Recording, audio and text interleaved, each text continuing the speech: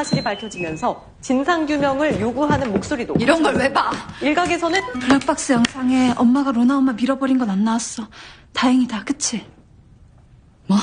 알잖아. 나 다 기억하는 거. 잊은 척 해줬을 뿐이야.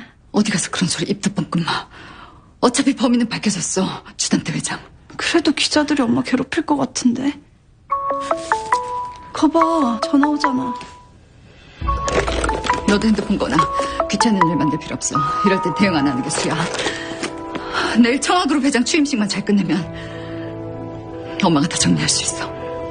어떻게? 말했잖아 범인은 주 회장이라고. 그러니까 은별이 넌 아무 걱정 말고 엄마만 믿어. 엄마만 알아듣지?